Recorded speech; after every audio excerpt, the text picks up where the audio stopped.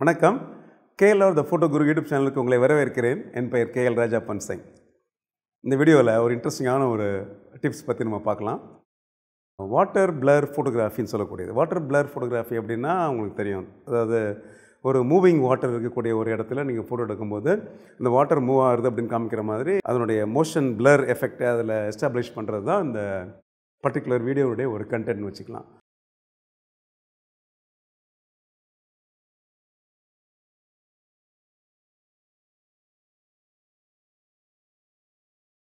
நம்மளாவே வந்து சாதாரணமாக ஒரு ஒரு வாட்டர் பாடியை நீங்கள் ஃபோட்டோ எடுக்கிறீங்க ஒரு வாட்டர் ஃபால்ஸ் எடுக்கிறீங்க இல்லை ஒரு கேஸ்கேட் எடுக்கிறீங்க. அந்த மாதிரி சமயத்தில் வந்து ஒரு ரெகுலர் பிக்சர் எடுக்கும்போது அந்த பிக்சரில் வந்து ஒரு பெரிய த்ரில் நமக்கு இருக்காது. ஆனால் கொஞ்சம் ஷட்டர் ஸ்பீடை கொஞ்சம் கம்மி பண்ணிவிட்டு ஸ்லைட்டாக அந்த இடத்துல வந்து ஒரு மோஷன் பிளரை நீங்கள் இன்க்ளூட் பண்ணீங்க அப்படின்னா அந்த இடத்துல வந்து ஒரு மாதிரி வந்து ஒரு அதாவது ஒரு மிஸ்டியான ஒரு ஃபீல் உங்களுக்கு அந்த அந்த வாட்டர் பாடியில் உங்களுக்கு கிடைக்கும். அந்த படம் பார்க்குறப்போ கொஞ்சம் இன்ட்ரெஸ்டிங்காக இருக்கும். பல சமயத்தில் இந்த மாதிரி படங்கள் நீங்கள் பார்த்துருப்பீங்க. பார்த்த உடனே எப்படி இந்த மாதிரிலாம் எடுக்கிறாங்க அப்படின்னு நீங்கள் ஆச்சரியப்பட்டிருப்பீங்க இல்லை? அதெல்லாம் ரொம்ப கஷ்டமே கிடையாது. ரொம்ப ரொம்ப சிம்பிள் ஆக்சுவலாக ஸோ இந்த வீடியோவில் நம்ம அதை பற்றி தான் நம்ம பேச போகிறோம் என்ன பண்ணணும்? முதல் முதல்ல நீங்கள் வந்து உங்களுடைய ஷட்டர் ஸ்பீடை எவ்வளோக்குள்ளோ கம்மி பண்ண முடியுமோ அவ்வளோக்குள்ளோ கம்மி பண்ணணும். அதாவது நார்மலாக வந்து ஒரு வாட்டர் ஃபால் எடுக்கிறீங்க கேஸ்கேட்டில் எடுக்கிறீங்களா? அதனுடைய ஸ்பீடை பொறுத்து என்ன பண்ணிக்கலாம்? உங்களுடைய ஷட்டர் ஸ்பீடை வந்து ஒன் பை ஃபிஃப்டீன்லேருந்து ஆரம்பித்து one by eight one by four அந்த அளவுக்கு நீங்கள் ஷட்டர் ஸ்பீடை குறைச்சிங்க அப்படின்னா அந்த வாட்டருடைய மூவ்மெண்ட் வந்து உங்களுக்கு வந்து ஒரு பியூட்டிஃபுல்லாக ஒரு பிளராக கிடைக்கும். அதுதான் நம்ம வந்து வாட்டர் பிளர் ஃபோட்டோகிராஃபி அப்படிங்கிற மாதிரி நம்ம சொல்கிறோம் ஸோ ஃபஸ்ட்டு பாயிண்ட் நீங்கள் ஞாபகம் வச்சுக்க வேண்டியது வந்து ஸ்லோ ஷட்டர் ஸ்பீட் யூஸ் பண்ணணும். ஆனால் ரொம்ப அவ்வளோ ஸ்லோ ஷட்டர் ஸ்பீட் யூஸ் பண்ணுறது அப்படிங்கிறது எல்லா சமயத்துலையுமே சாத்தியம் இல்லை. குறிப்பிட்டு சொல்லணும் அப்படின்னா நல்ல ஒரு வெயில் அடிக்கிற நேரத்தில் ஒரு பதினொரு மணிக்கு ஒரு இடத்துல போய் நிற்கிறீங்க அப்படின்னா அந்த இடத்துல ஒன் பை ஃபோர் ஷட்டர் ஸ்பீடில் உங்களால் யூஸ் பண்ண முடியாது. ஏன்னா லைட் அதிகமாக இருக்குது உங்களுக்கு. என்ன தான் நீங்கள் ஐஎஸ்ஓ குறைச்சாலும் என்ன தான் நீங்கள் அப்பச்சர் கட் பண்ணாலும் படம் ஓவர் எக்ஸ்போஸ் ஆகிடும் அது மாதிரி சமயத்தில் நம்ம என்ன பண்ணணும் கேட்டிங்க அப்படின்னா அந்த லைட்டை வந்து நம்ம கண்ட்ரோலில் கொண்டு வரணும் அப்படின்னா நீங்கள் அந்த மாதிரியான படங்கள் எடுக்கும்போது என்ன பண்ணுங்கள் குடும்பம் வரை ரொம்ப ஏர்லி இந்த மார்னிங் காலையில் அதிகாலையில் ஒரு அஞ்சரை மணிலேருந்து ஒரு ஆறு மணி ஆறரை மணிக்குள்ளே எடுத்தீங்கன்னா உங்களுக்கு வெயில் ரொம்ப கம்மியாக இருக்கும் லைட் ரொம்ப கம்மியாக இருக்கும். அந்த நேரத்தில் உங்களால் ஈஸியாக ஷட்டர் ஸ்பீடை குறைக்க முடியும். இல்லாட்டி லேட் இந்த ஈவினிங் எடுத்து பாருங்கள் ஒரு சாயந்தர நேரத்தில் ஒரு அஞ்சு அஞ்சரை மணிக்கு மேலே எடுத்தீங்க அப்படின்னா லைட் ரொம்பவே உங்களுக்கு ஃபால் ஆகிடும் அந்த நேரத்தில் ஈஸியாக உங்களால் ஷட்டர் ஸ்பீடை குறைக்க முடியும். ஸோ இது வந்து இயல்பாக நம்ம பண்ண வேண்டிய நம்ம சூஸ் பண்ண வேண்டிய ஒரு டைம் அதனால் ஒரு மிட் டேயில் போயிட்டு நீங்கள் வந்து நம்ம வாட்டர் பிளர் ஃபோட்டோகிராஃபி பண்ணுறேன்னு ட்ரை பண்ணிங்க அப்படின்னா பல சமயத்தில் அது நமக்கு முடியாமல் போயிடும். மூணாவது பாயிண்ட் என்னென்னா உங்கள் அப்படி எடுக்கிற சமயத்தில் உங்கள் கேமரா வந்து ரொம்ப ஸ்டேபிளாக இருக்கணும். கேமராவை நீங்கள் வந்து ஒரு ட்ரைபாடில் போடணும். ட்ரைபாடில் போடாமல் ஒன் பை ஃபோரில் ஒன் பை ஃபிஃப்டீன்லலாம் உங்களால் படம் எடுக்க முடியாது. அப்படி படம் எடுக்கும்போது உங்களுக்கு ஹேண்ட் ஷேக் வரும். ஸோ ஹேண்ட் ஷேக் வந்துச்சு அப்படின்னா உங்களுக்கு அந்த அந்த வாட்டர் பாடியை தவிர மற்ற இடத்துல உள்ள விஷயங்கள் கூட உங்களுக்கு ஷேக்கியாக தெரியும். அதனால் ப்ரிஃபரபிளி என்ன பண்ணுங்கள் நல்ல ஒரு ஸ்டேடியான ட்ரைபாடில் உங்கள் கேமராவை போடுறதுக்கு நீங்கள் ப்ராக்டிஸ் பண்ணிக்கோங்க. சப்போஸ் உங்களால் லைட்டிங் கண்ட்ரோல் பண்ண முடியல லைட் ரொம்ப பிரைட்டாக வந்து ஃபீல் பண்ணிங்க அப்படின்னா என்டி ஃபில்டர்னு சொல்லக்கூடிய நியூட்ரல் டென்சிட்டி ஃபில்டர் உங்களுக்கு தெரியும் உங்களுக்கு. ஆக்சுவலாக அந்த மாதிரி ஃபில்டர் கூட நீங்கள் ஆட் பண்ணிக்கலாம்.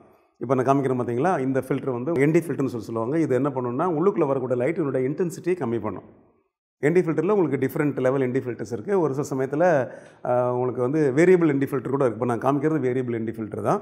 ஸோ உங்களால் வந்து அந்த உள்ள கூட ஒரு லைட்டினுடைய இன்டென்சிட்டியை வந்து ஒரு பல ஸ்டாப் குறைக்க முடியும். ஸோ அதனால் பிரைட் லைட் கண்டிஷனில் கூட உங்களால் எக்ஸ்போஷரை வந்து குறைச்சி ஷட்டர் ஸ்பீடை குறைச்சி பயன்படுத்தணும் அப்படின்னா லென்ஸுக்கு முன்னாடி என்ன பண்ணுங்கள் என்டி ஃபில்டர் யூஸ் பண்ணுங்கள் என்டி ஃபில்டரை ஏன் யூஸ் பண்ணணும் அப்படின்னா ஷட்டர் ஸ்பீட் நீங்கள் ரொம்ப குறைக்கிறீங்க. ரொம்ப குறைக்கும் போது என்ன பண்ணணும்னா நீங்கள் உங்களுடைய அப்பச்சர் வந்து நீங்கள் ரொம்ப க்ளோஸ் பண்ண வேண்டிய ஒரு நெசசிட்டி வரும். அதாவது அப்பர்ச்சருடைய நம்பரை நீங்கள் இன்க்ரீஸ் பண்ணுற மாதிரி ஒரு நெசசிட்டி வரும். இன்க்ரீஸ் பண்ணிட்டீங்க. ஆல்ரெடி நீங்கள் வந்து ஒரு டுவெண்ட்டி டூவில் இருக்கிறீங்க. இல்லை தேர்ட்டி டூவில் இருக்கிறீங்க.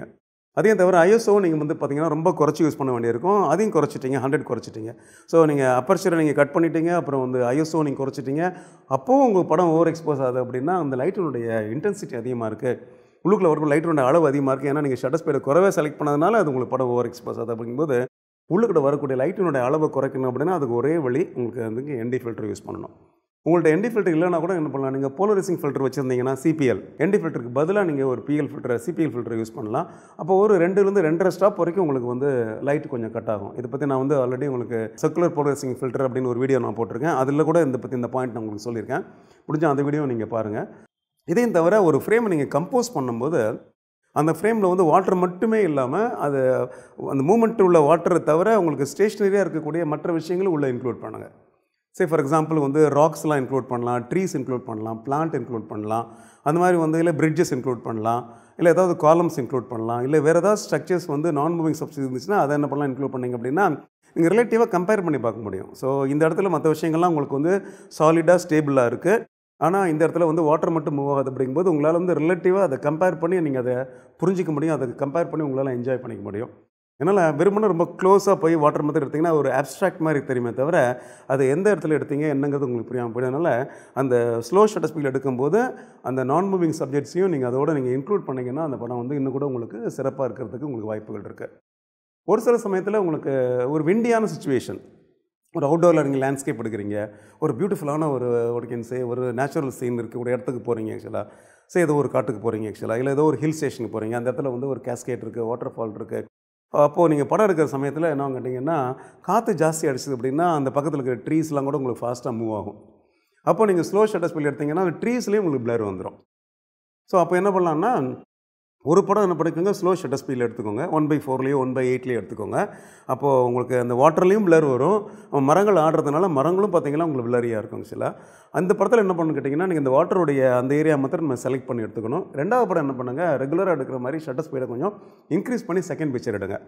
அதாவது ஒரு ஒன் பை ஒன் டுவெண்ட்டி ஃபைவ்லையோ இல்லை ஒன் பை டூ ஃபிஃப்டிலையோ செகண்ட் பிக்சர் எடுங்க. செகண்ட் பிக்சர் எடுக்கும்போது அப்போ வாட்டருடைய மூமெண்ட்டும் உங்களுக்கு ஃப்ரீஸ் ஆகி கிடைக்கும். அப்போ ட்ரீஸும் ஃப்ரீஸ் ஆகிடும் ஆக்சுவலாக போஸ்ட் ப்ரொடக்ஷன் என்ன பண்ணலாம் கேட்டிங்கன்னா ரெண்டு பிக்சரை நீங்கள் என்ன பண்ணலாம்? காம்போசிட் பண்ணி கம்பைன் பண்ணி என்ன பண்ணலாம்னா வாட்டர் ஏரியா மாத்திரம் பிளட்டாக உள்ள பிக்சரை செலக்ட் பண்ணிவிட்டு அப்புறம் மிச்ச ஏரியாவில் போகிற செகண்ட் பிக்சர் பார்த்தீங்களா?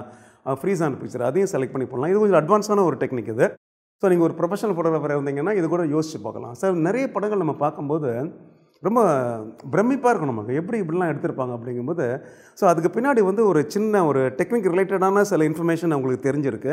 அவங்க வந்து அதை பற்றி ஒரு அவேர்னஸோடு இருந்திருக்காங்க அப்படிங்கிறது ஒரு முக்கியமான விஷயம். ரெண்டாவது வந்து ஒரு குறிப்பிட்ட ஷார்ட்டை எப்படி ப்ரெசென்ட் பண்ணணும் அப்படிங்கிறது தெரிஞ்சிருக்காங்க. ஸோ இதுக்கு வந்து உங்களுக்கு பேசிக் ஃபோட்டோகிராஃபியோடைய நாலேஜ் ரொம்ப ரொம்ப இம்பார்ட்டண்ட் இப்போ நான் சொன்னேன் உங்களுக்கு ஷட்டர் ஸ்பீடு குறைக்கணும் ட்ரைபாடில் போடணும் என்டி ஃபில்டரை யூஸ் பண்ணணும் அப்புறம் ரெண்டு பிக்சர் எடுத்து நீங்கள் காம்போசிட் பண்ணணும். இது எல்லாமே பார்த்தீங்க அப்படின்னா ஃபோட்டோகிராஃபியோட ஐ மீன் ஃபண்டமெண்டல் தெரிஞ்சினா தான் அது அது வந்து உங்களால் கரெக்டாக செய்ய முடியும். அதனால் ஒரு கேமரா இருக்குது அந்த கேமரா எடுத்தாலும் ஸ்ட்ரெயிட்டாகவே ஒரு படம் வந்துடும் நினச்சிங்க அப்படின்னா அப்படி வராது. பர்டிகுலர்லி இந்த மாதிரி ஒரு ஸ்பெஷல் எஃபெக்ட் உள்ளக்கூடிய படங்கள்லாம் எடுக்கும்போது உங்களுக்கு ஃபோட்டோகிராஃபியினுடைய ஒரு அவேர்னஸ் அதாவது பேசிக் ஃபோட்டோகிராஃபியோட அவேர்னஸ் உங்களுக்கு அதிகமாக இருந்துச்சுன்னா மட்டும்தான் இந்த விஷயத்தை உங்களால் வந்து கரெக்டாக உங்களால் ஹேண்டில் பண்ண முடியும். நெக்ஸ்ட் டைம் நீங்கள் ட்ராவல் ஃபோட்டோகிராஃபி பண்ணும்போது நீங்கள் ஏதோ ஒரு இடத்துல நீங்கள் ஹாலிடேஸ்க்கு போகிறீங்க இல்லை மற்ற இடத்துக்கு போகிறீங்க அப்படின்னா அப்போ எங்கேயாவது ஒரு வாட்டர் ரிலேட்டடான ஒரு விஷயத்தை பார்த்தீங்க அப்படின்னா என்ன பண்ணுங்கள் இதுக்கு ட்ரை பண்ணி பாருங்களேன். அப்போ அந்த படங்கள் பார்க்குறப்போ இன்ட்ரெஸ்ட் நிறைய படங்கள் நான் அந்த வீடியோவில் உங்களுக்கு காமிச்சேன். இந்த எல்லா படங்களும் பார்த்தீங்கன்னா வேறு வேறு சுச்சுவேஷனில் வேறு வேறு லொக்கேஷனில் பட் இந்த சேம் டெக்னிக்கை யூஸ் பண்ணி அதாவது ஷட்டர் ஸ்பீடை குறைச்சி என்டி ஃபில்டரை போட்டு அந்த மாதிரிலாம் ட்ரை பண்ணி இந்த படத்தை எடுத்திருக்கோம். ஸோ ரொம்ப ஷட்டர் ஸ்பீடை குறைச்சி நீங்கள் படம் எடுக்கும்போது இந்த படம் பார்த்திங்க அப்படின்னா அப்படியே ஒரு மாதிரி ரொம்ப வார்மாக இருக்கும் பார்த்தீங்கன்னா தெரியும் ஆக்சுவலாக ஓகே ஐ திங்க் அது எப்படி என்னால் எப்படி எக்ஸ்பிளைன் பண்ணுறதுன்னு தெரியல. ஸோ இந்த படங்கள்லாம் பார்க்கும்போது உங்களுக்கு வந்து இது நம்ம நேரில் அந்த மாதிரி எஃபெக்ட் உங்களுக்கு கண்ணில் நமக்கு தெரியாது. கண்ணில் பார்க்கும்போது எல்லாமே உங்களுக்கு கிளியராக இருக்கும் ஷார்ப்பாக இருக்கும். அந்த இடத்துல பிளரிங் எஃபெக்ட்லாம் தெரியாது. ஸோ ஃபோட்டோகிராஃபியில் நீங்கள் வந்து ஒரு டிஎஸ்எல்ஆர் கேமராவிலையோ ஒரு மிரர்லெஸ் கேமராவிலையோ நீங்கள் ஷட்டர் ஸ்பீடையும் மற்ற விஷயத்தையும் கரெக்டாக நீங்கள் ஹேண்டில் பண்ணீங்க அப்படின்னா தான் இது கரெக்டாக வரும். ஒரு நார்மலாக நீங்கள் பார்க்கக்கூடிய ஒரு காட்சி என்ன பண்ணலாம் கேட்டிங்கன்னா ஒரு ஆர்டிஸ்டிக்காக ரொம்ப பியூட்டிஃபுல்லாக உங்களால் வந்து கம்போஸ் பண்ண முடியும் ரொம்ப பியூட்டிஃபுல்லாக எடுக்க முடியும். அப்போ உங்கள் படங்கள் வந்து ஒரு அடுத்த லெவலுக்கு ஒரு நெக்ஸ்ட் லெவலுக்கு அது அது போகும். இதில் எந்த விதமான டவுட்டும் இல்லை. ஸோ ட்ரை பண்ணி பாருங்கள் ஏன்னா ஃபோட்டோகிராஃபி அப்படிங்கிறது ஒரு ப்ராக்டிஸ் பேஸ்டான விஷயங்கள். கேஎல்ஆர் த ஃபோட்டோகிராஃபி யூடியூப் சேனலில் இது மாதிரி இன்ட்ரெஸ்டிங்கான நிறைய டிப்ஸ் உங்களோட நான் ஷேர் பண்ணிகிட்டு இருக்கேன் குறிப்பாக இந்த மாதிரி சில டிப்ஸை நாங்கள் ஷேர் பண்ணும்போது அந்த டெக்னிக்ஸை பற்றி நம்ம பேசும்போது நீங்கள் என்ன பண்ணுங்கள் அதை ட்ரை பண்ணி பாருங்கள் ரியல் லைஃப்பில் வந்து எப்போவுமே ஃபோட்டோகிராஃபி அப்படிங்கிறது ப்ராக்டிஸ் பண்ணி பார்த்தா தான் அது நம்ம கைக்குள்ளே வரும். அதனால் இந்த வீடியோவில் நான் சொன்னக்கூடிய விஷயங்களை நீங்கள் ட்ரை பண்ணுங்கள் ப்ராக்டிக்கலாக அப்போ வந்து அது சம்மந்தப்பட்ட விஷயங்கள் உங்களுக்கு ஈஸியாக புரியும். அதில் ஏதாவது டவுட்ஸ் இருந்துச்சுனாலும் சரி தான் இல்லை வீடியோ சொன்ன விஷயங்கள் மாதிரி படம் எடுக்கும்போது அது அதனுடைய அதனுடைய ரிசல்ட்ஸ் அது மாதிரி வராமல் இருந்தாலும் பரவாயில்ல. நீங்கள் என்ன பண்ணுங்கள் கமெண்ட் பாக்ஸில் வாங்க. அதில் நம்ம ஷேர் பண்ணலாம். So end of the day வந்து நம்ம வெளியிடக்கூடிய வீடியோக்கள் வந்து உங்களுக்கு பயனுள்ளதாக இருக்கணும் அப்படிங்கிறது தான் அதனுடைய முக்கியமான ஒரு பாயிண்ட் ஆக்சுவலாக இந்த வீடியோவில் நான் ஷேர் பண்ண இன்ஃபர்மேஷனை நீங்கள் ட்ரை பண்ணுங்கள் அந்த டெக்னிக்ஸ் எல்லாம் நீங்கள் செஞ்சு பாருங்கள் ஏன்னா ஃபோட்டோகிராஃபி அப்படிங்கிறது ப்ராக்டிக்கலாக நமக்கு செஞ்சால் தான் வரும். ஏன்னா எவ்வளோ யூடியூப் வீடியோஸ் எவ்வளோ சேனல்ஸ் நம்ம பார்த்தாலுமே அதில் சொல்லக்கூடிய விஷயத்தை நம்ம வந்து ப்ராக்டிக்கலாக நம்ம அப்ளை பண்ணி பார்க்கணும். அதனால் இப்போ நான் சொன்னேன் உங்களுக்கு வந்து வாட்டர் பிளர் ஃபோட்டோகிராஃபி அப்படிங்கும்போது நீங்கள் அடுத்த முறை நீங்கள் ட்ராவல் ஃபோட்டோகிராஃபி பண்ணும்போதோ அடுத்த முறை எப்பயாவது நீங்கள் வெளியில் போய் ஃபோட்டோ எடுக்கும்போது இந்த மாதிரி ஒரு அக்கேஷன் கிடச்சிது அப்படின்னா அதில் நல்ல படங்களை தான் எடுத்தீங்க அப்படின்னா அது சோஷியல் மீடியாவில் வந்து இந்த ஹேஷ்டாக் யூஸ் பண்ணி நீங்கள் போஸ்ட் பண்ணுங்கள் கேஎல்ஆர் த ஃபோட்டோகிராஃபி யூடியூப் சேனலை நீங்கள் சப்ஸ்கிரைப் பண்ணல அப்படின்னா இமீடியட்டாக சப்ஸ்கிரைப் பண்ணுங்கள் லைக் பண்ணுங்கள் ஃப்ரெண்ட்ஸோட ஷேர் பண்ணுங்கள் முக்கியமாக பெல் பட்டனை ப்ரெஸ் பண்ணுங்கள் அப்போ தான் அதுக்கு அடுத்த வீடியோஸுடைய அப்டேட்ஸ் உங்களுக்கு வந்து சேரும். இன்னும் இது மாதிரி இன்ட்ரெஸ்டிங்கான ஒரு டிப்ஸோட அடுத்த வீடியோவில் உங்களை நான் மீண்டும் சந்திக்கிறேன். நன்றி வணக்கம்.